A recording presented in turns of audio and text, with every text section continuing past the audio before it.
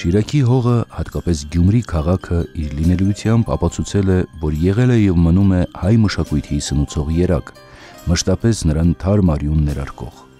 Նույնիսկ ավերիչ երկրաշարժը չկոտրեց Գյումրեցու ոգին։ Դեպի արվեստն ու գեղեցիկը տանող նրա ճանապարհը շարունակվեց։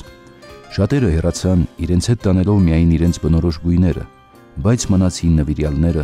որոնք համառորեն շարունակում են ստեղծագործել, արարել ու կրթել ապագա սերնդին, գալիք արվեստագետներին։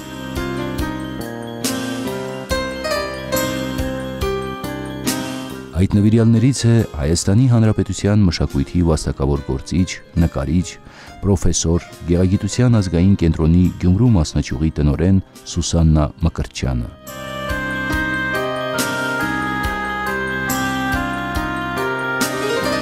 Նրա արվեստը յուրատիպ է ու հետաքրքիր։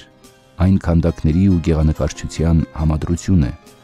Սուսաննա Մկրտչյանը ստեղծել է յուրօրինակ աշխարհ, որն անընդհատ ստեղծագործական արարումների մեջ է։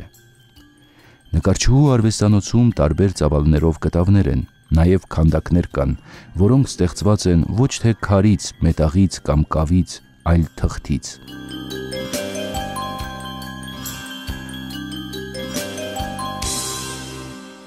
Նկարիչ դառնալու համար տաղանդը շատ քիչ է, կրթությունն էլ քիչ է։ Նկարիչ դառնալու համար պիտի ունենալ լավ աչք, լավ տեսնող աչք, ոչ թե նայող, այլ տեսնող աչք եւ իհարկե աշխատասիրություն, աշխատասիրություն ու աշխատասիրություն։ Նկարիչ դառնալու համար պիտի աշխատել, որպեսզի կատարելագործվել, որտեղ նկարչությունը ոչ միայն գիտություն է, ոչ միայն ստեղծագործություն է, այլ նաև փորձառություն է կա տեխնիկա, կա մեթոդներ, որը փորձառության ընթացքում է մարդը ձեռք բերում։ Ուրեմն միայն աշխատասիրություն։ Դիտելով նրա քանդակները, առաջինը, որ աչքի է զառնում, մեղմ կանացիությունն է, շղարշված գունեղ երանգների համանվագով իգական սկիզբը, որ ամենաստեղծ բնությանն է հատուկ, նկարչուհու ստեղծագործություններում երևակվում է տրամադրության եւ խոհի, նազանքի եւ պլաստիկայի դրսևորումներով։ Ոչ սովորական նյութի ընտրությունը արդեն իսկ վկայում է Սուսաննա Մկրտչյան ստեղծագործողի աշխատանքների ինքնատիպ լինելու մասին։ Նրա ստեղծած յուրաքանչյուր կերպար ունի իր պատմությունը, որը նկարչուհու հմուտ վրցնահարվածների շնորհիվ փոխանցվում է կերպարին իսկ կերպարը իր հերթին դիտողին է փոխանցում իր կենսագրության առեղծվածները։ Նկարչուհու աշխատանքներում ամփոփված են իր հարազատ քաղաքի հիշողությունները, որոնք կրում են կտավների եւ քանդակների հերոսները, պահպանում ու նոր շնչով մեզ են փոխանցում հին գյումրվա կոլորիտային դիմագիծը։ Առհասարակ նրա ստեղծած կերպարների մեջ առանցքային դեր ունի գյումրեցին։ Գյումրի իմ սեր նկարների շարքում նկարչուհին պատկերել է հարազատ քաղաքի Ալեկպոլ Գյումրու անցած գնացած դեպքերն ու դեմքերը, կենցաղն ու նիստուկացը, անկրկնելի ոգին ու համուհոտը։ Գյումրի իմ սեր շարքում արվեստագետը փորձում է մոռացությունից փրկել եւ նոր սերնդի համար պահպանել հին Գյումրին առանձնահատուկ կոլորիտով ու ծիսական ավանդական սովորույթներով։ Այստեղ բացի կանանցից նկարչուհին պատկերել է նաև գյումրեցի տղամարդկանց, Վերնագիրը սեր է խորհրդանշում, բայց այդ շարքը ծնվել է ցավից, որը հասցրեց 1988 թվականի ավերիչ երկրաշարժը։ Նոր սերունդն էր գալիս, որին հարկավոր էր պատմել մեր շենշող քաղաքի, նրա անցյալի ու մշակութային ակունքների մասին։ Նպատակն այն էր, որ նոր սերունդը իրեն չհամարեր քանդված ու խեղճ բնակավայրի ծնունդ։ Բազմաթիվ արխիվային նյութեր ուսումնասիրեց, մասունքների մեջ խորացավ եւ պատկերեց Գյումրեցու Արաքինի համեստ, խոնար ու կրթված կնոջը եւ մեր Գյումրվա ազգային քաղաքային տարածով արժանապատիվ շնորհալի արհեստավոր տղամարդուն, որ կնամեծար էր, հարգալից դեպի կինը, մայրը, նվիրված է իր ընտանիքին։ Նկարելու հետ մեկտեղ ստեղծել է գեղագիտական կենտրոնը։ Գյումրու գեղագիտական կենտրոնը հիմնադրվել է 1978 թվականին 41 տարի առաջ նկարչուհի Սուսաննա Մկրտչյանը սկիզբ դրեց գեղագիտական մի շարժման, որն աստիճանաբար ծավալվեց ու իր ցոլացումների մեջ առավ Շիրակի մարզի, մասնավորապես Գյումրու ստեղծարար ծիլերին ու առողջ հունդերն։ Ստեղծվեց մշակութային ինքնավար ու ազատ միջավայր, որտեղ ստեղծագործական խոհն ու նորարարությունը մրցում են ավանդույթի հետ, վկայելով եւ Սուսաննա Մկրչյանի ոսկեձեռիկ լինելն ու բացարիք ճաշակը, եւ կենտրոնի նվիրյալ աշխատակիցների շնորհը։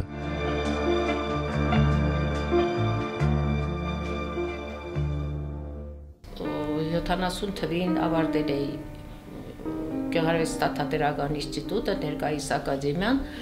եւ աշխատանքի էի անցել Մագավարժական ինստիտուտում որպես կերպարվեստի դասախոս, բայց միևնույն ժամանակ մեթոդիստ էի մանկապարտեզների նկարչության կերպարվեստի գծով եւ իմ մոտ միտք հղացավ ստեղծել մի կենտրոն, որտեղ շատ փոքր երեխաներ սկսած 3 տարեկանից պիտի գային եւ պիտի սովորեին նկարչություն, պիտի ուսումնասիրեին գեղեցիկը բոլորովին այլ մեթոդներով, որը ինքս էի մտածել։ Եվ այդ ժամանակ այդ տարիներին 3 տարեկան երեխաներին ոչ միտեղ չէին տանում բացի մանկապարտեզից, ոչ մի խմբերի այդպես ընդունված չէր ընդունված էր 6 տարեկանից, նույնիսկ նվարչական դպրոց, որ ընդունում էին, 9 տարեկանից էին ընդունում, որը կարծում եմ շատ սխալ էր։ Եվ այդպես միտքը դա էր, որ ստեղծել կենտրոն երեխաների համար 1988 թվականի դեկտեմբերի 7-ի երկրաշարժին խոնարհվեց քաղաքը։ Կենտրոնը դարձավ ոչ միայն անձնապաստան, այլև ազգապաստան, եւ այս հանգրվանում նվիրյալներն արճակատման գնացին որպես աննկուն կյանքի շարունակություն փետրվարի 1-ից վրանային դպրոցներից վերստին հավաքագրվեցին նոր ցաներ բայց կարճ ժամանակ անց Փյունիկի նման վեր հառնեց մոխիրներից եւ հաստատուն քայլերով շարունակեց կատարել իր առաքելությունը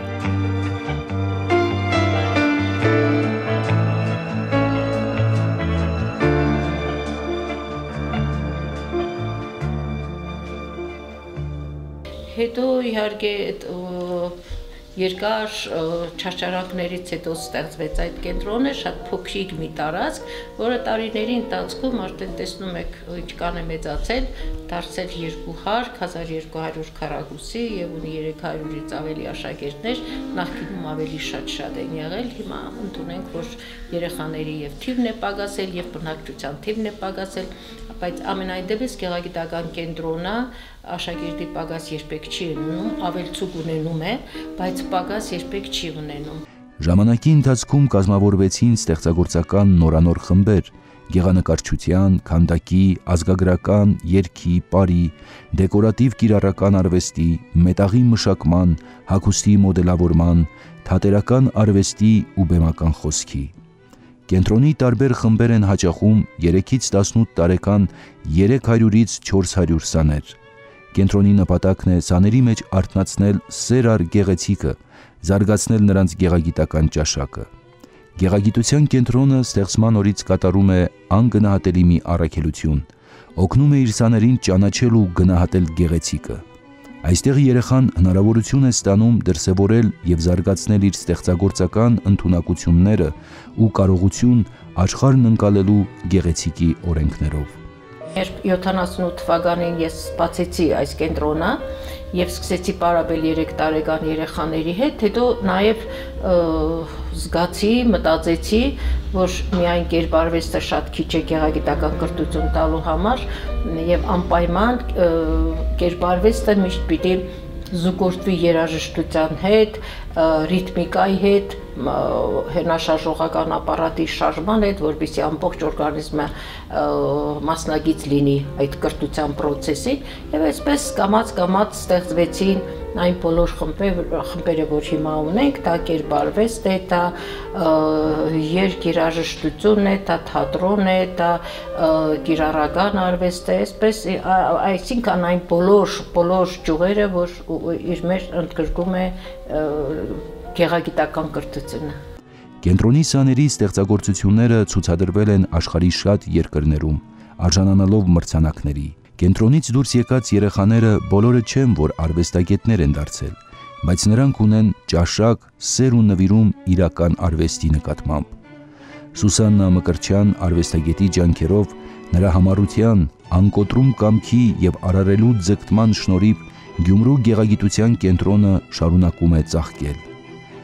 Կանցնի ժամանակ եւ արվեստագետը պատմության մեջ կմնա իր թողած ոտնահետքով, որքան խորն է այն, այնքան նա կապրի իր արվեստով ու ստեղծած մարդկային արժեքներով։